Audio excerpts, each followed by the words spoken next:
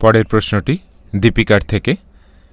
সদ্গুরু, আপনি একটি দর্শনে বলেছেন যে সবার সাথে একই আচরণ করা উচিত, ঠিক যেমন আপনারা আমার সাথে করেন। সদ্গুরু, আপনি একজন করুণা অবতার, কিন্তু আমার বাড়িতে একটি অমানুষ, জঘন্য প্রাণী আছে। আপনাকে সেই লোকের মধ্যে দেখা খুবই কঠিন হয়ে পড়ে। ওর সাথে কি করা যায় এই পরিস্থিতিতে?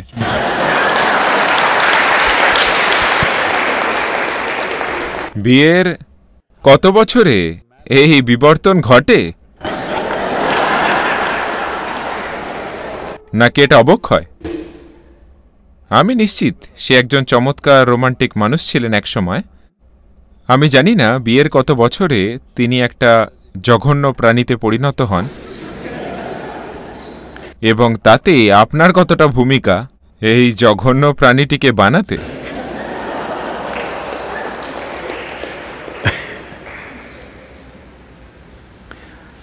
দেখুন, বিশেষ করে তিনি যদি একজন জঘন্য প্রাণী হয়ে থাকেন, বিশেষ করে যদি এটা হয়, এটা আপনার দৃষ্টিভঙ্গি। কিন্তু দেখুন, বিশেষ করে একজন যদি একটি জঘন্য প্রাণী হয়, আপনার বাড়িতে বা আপনার অফিসে বা যেখানেই থাকুন, আপনি কাউকে একটি বিশেষভাবে দেখছেন, এটা তাদের ব্যাপার নয়, এটা আপনার ব্যাপার। আপনি কি আপনার চোখ আপনার মন, আপনার হৃদয়, আপনার দেহ আনন্দে রাখতে চান না দুঃখে? সেই বিষয়টি নিজে স্থির করে নিন।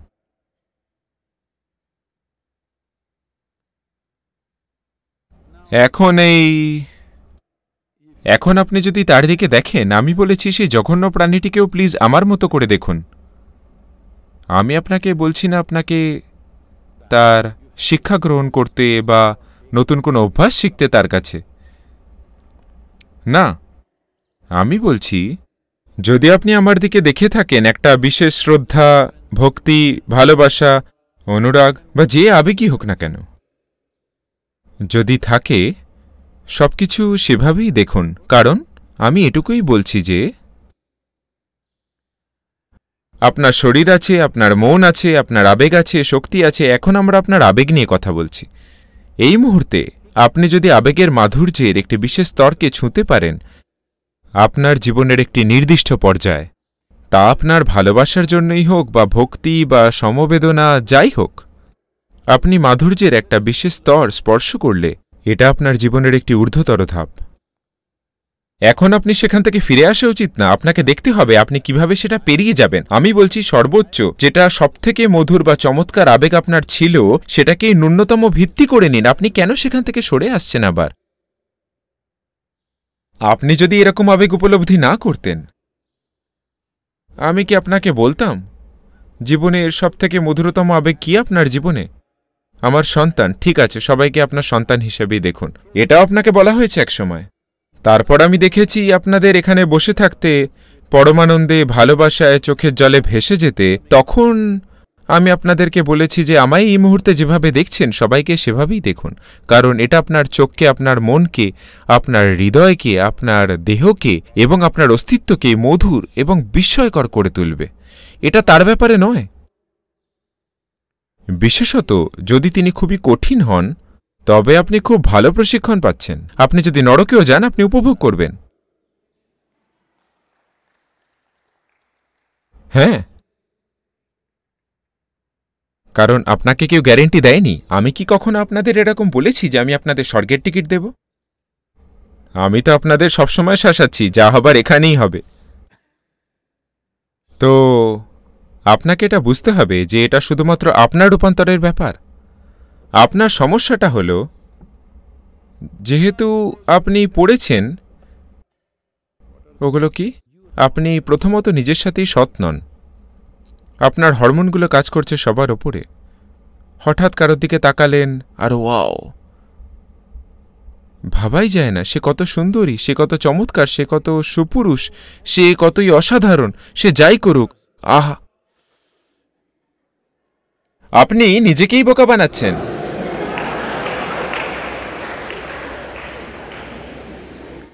না না, তারা যাই করুন, আপনি নিজেকে সুন্দর করে তুলুন এখন তারা খারাপ কাজ করলেও আপনি তখনও চমৎকার আছেন, সেটা আলাদা। আপনি জানেন তারা খারাপ, কিন্তু তাও আপনি চমৎকার, এটা দারুণ ব্যাপার। তারা জঘন্য কাজ করছে, কিন্তু আপনি ভাবছেন তারা সুন্দর কাজ করছেন। এটা একটা অর্থহীন মূর্খামি। আমি বলি আপনাদের, একজন যিনি ইন্ডিয়ান আর্মিতে কাজ করতেন, আমায় এই গল্পটা বলেন, কারণ কারণ আমরা একই রকম পরিস্থিতিতে পড়েছিলাম অন্য কোথাও। তো সেই সময় তিনি এটা বর্ণনা করেছিলেন। তারা উত্তর পূর্ব ভারতে ছিলেন, যেখানে একটা নির্দিষ্ট সংখ্যক হাতির দল ছিল। তো উনি একজন ব্যাটালিয়নের সর্দার। তিনি নেতৃত্ব দিচ্ছিলেন আঠেরো থেকে কুড়ি জন মানুষের দলকে। তারা জঙ্গলের মধ্যে দিয়ে চলেছেন। তো তার একটা বিশাল দাঁতাল হাতি দেখতে পান। সবাই পিছিয়ে আসে, তাদের সবার কাছেই অস্ত্র ছিল। ঠিক আছে? শক্তিশালী অস্ত্র।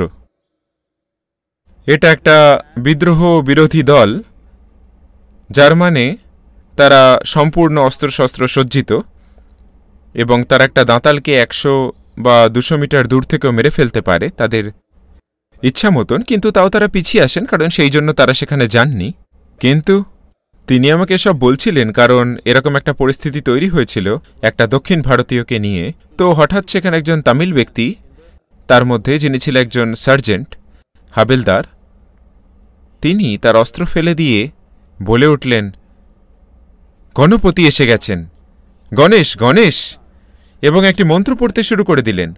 তিনি কোনো একটা গণপতি মন্ত্র জানতেন, সেটা পড়তে শুরু করে দিলেন।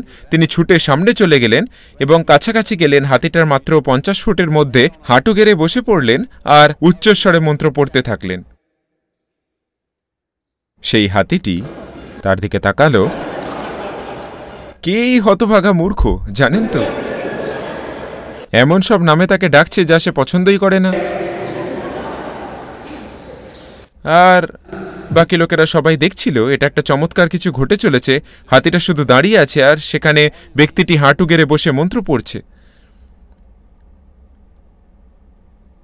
হাতিটা ভীষণ তাড়াতাড়ি সরে গিয়ে দু সেকেন্ডেরও কম সময় বা এই ধরুন, হয়তো পাঁচ সেকেন্ড চড়া হয় ওই ব্যক্তির ওপর, ব্যক্তিটিকে পিষে ফেলে, পিছন ফেরে এবং চলে যায়। এই মানুষগুলি শুধু হাঁ করে দেখতে থাকে এবং তারা তাকে পিষে যেতে দেখে। তখন কিছু মানুষ অস্ত্র বের করে, যখন সেই ব্যক্তি যাকে আমি চিনতাম, যিনি দায়িত্বে ছিলেন, তাদের শান্ত করেন, ততক্ষণে সে মারা গেছে। মানুষটি এক আঘাতেই মারা গেছে। আমি আপনাদের এটা বলছি কারণ হাতি কিছু করবে না, বন্য হাতি সুখকর কিছু করবে না আপনার সাথে, কারণ আপনি তাকে ঈশ্বর বলে ডাকেন। আপনি তাকে গণপতি বলুন বা তাকে পুজো করার চেষ্টা করুন। সে করবে না, সে শুধু সেটাই করবে যা তার করার। একইভাবে আপনার ঘরের ওই প্রাণীটিও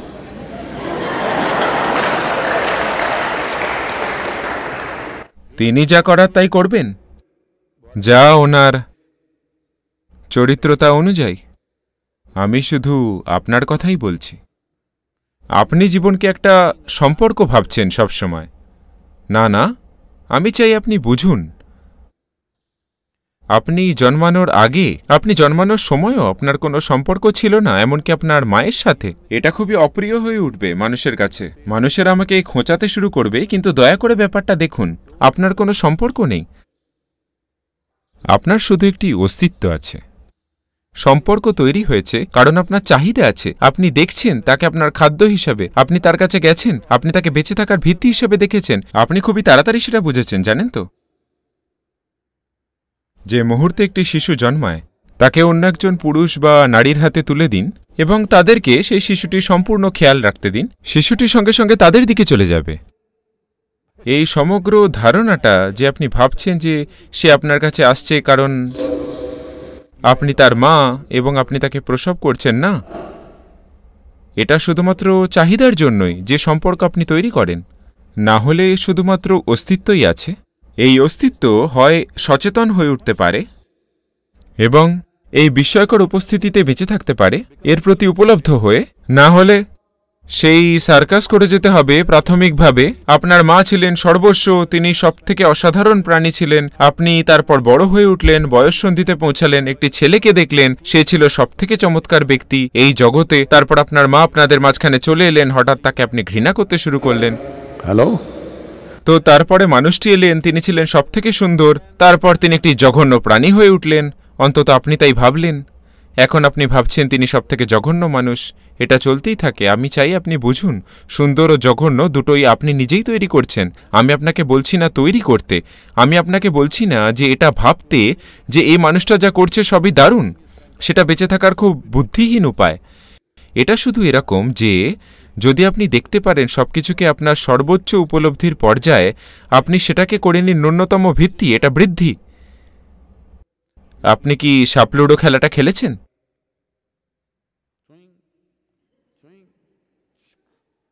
খেলেছেন এই খেলাটা? সাপলুডো খেলা।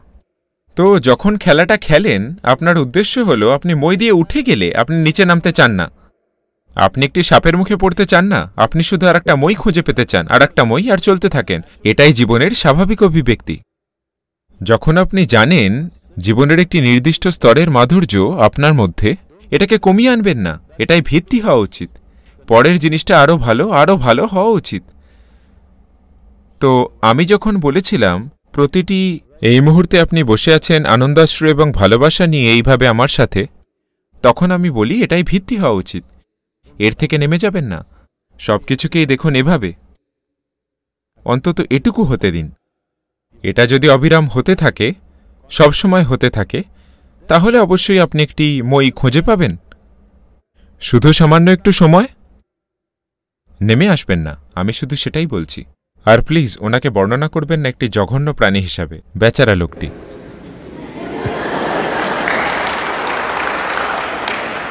এরকম হয়েছিল। আমার মনে হয় আমি বলেছি, হয়তো এই কয়েকদিনের মধ্যে আমি বলেছি, আমার মনে পড়ছে না, কিন্তু তাও আবার বলছি। শঙ্করন পিল্লাই ভেবেছিল তার স্ত্রীর সম্পর্ক আছে, তিনি একটি গোয়েন্দা ভাড়া করলেন, আমি এটা জোরে জোরে বলছি, আপনাদের মনে করানোর জন্য। তিনি বললেন আমার ওর বিরুদ্ধে প্রমাণ চাই। তো গোয়েন্দাটি বাড়ির বাইরে অপেক্ষা করলেন। মহিলাটি বাড়ি ছেড়ে বেরোলেন। গোয়েন্দাটি তাকে অনুসরণ করলেন। মহিলাটি একটি পার্কের কাছে গাড়ি পার্ক করলেন, ভেতরে গেলেন। একটি ব্যক্তি বেঞ্চে বসেছিল। যে মুহূর্তে সে তাকে আসতে দেখল, সে ছুটে এলো। মহিলাটিও ছুটে গেলেন, আলিঙ্গন করলেন, হাতে হাত ধরলেন, বেঞ্চে বসলেন, খুব আনন্দ সহকারে কথাবার্তা বলতে বলতে হাসাহাসি শুরু করলেন। গোয়েন্দাটি পুরো ভিডিওটি তুললেন এবং কয়েক ঘণ্টার মধ্যেই শঙ্করন পিল্লার অফিসে গিয়ে বললেন, আমি সব প্রমাণ জোগাড় করেছি। আপনি যা চেয়েছিলেন, কেবল একদিনেই। আমি সব প্রমাণ জোগাড় করেছি। এই দেখুন ভিডিও। শঙ্করন পিল্লাই ভিডিওটি দেখতে শুরু করলেন এবং বলতে লাগলেন, আমি এটা বিশ্বাস করতে পারছি না না না, এটা আমি বিশ্বাস করতে পারছি না না না, কিছুতেই বিশ্বাস করতে পারছি না। সে বলল, কি বিশ্বাস করতে পারছেন? এটা একটা ভিডিও, এটা কোনো মতেই ভেজাল নয়। তিনি বললেন, ব্যাপারটা সেটা নয়, মূর্খ, আমি বিশ্বাসই করতে পারছি না যে ও এত মজাও করতে পারে।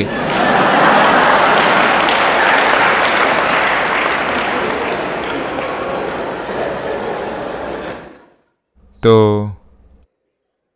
এই পনেরো দিন শেষ হয়ে যাওয়ার পরে যখন মানুষটি চলে যাবেন অন্য কোথাও, তখন আপনি বুঝতে পারবেন সে কতটা মজার ছিল। এরকম করবেন না যেন নিজের সাথে।